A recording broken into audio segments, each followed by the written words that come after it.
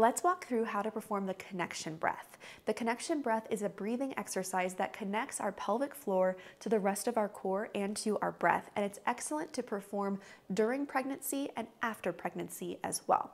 Now, you may have heard of Kegels before, and that's not wrong, but that's one small piece of the puzzle, as you'll see when we dive into this. So, I'm going to teach you this in four steps. The first step has to do with your body position and your posture. You can perform this breathing exercise in a ton of different body positions. Laying on your back is a great way to start and really feel what you're supposed to be feeling, and we'll dive into that. You can do it laying on your side, you can do it standing up, kneeling, sitting, even getting into movement, which I'll teach you in step four. Now, that being said, as you progress in pregnancy, it's not recommended to lay on your back for prolonged periods, so I'm gonna teach this to you seated on a stable surface, and I encourage you to sit down and follow along.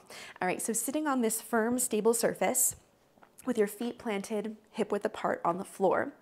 We're gonna focus on how do we set ourselves up here. So in this position, we wanna be sitting on our sits bones and pull the fleshy part of your bottom away from that stable surface so you can feel that. We also wanna be sitting on our perineum, which is that fleshy area around our vagina. So make sure that you're feeling that as you're sitting down here.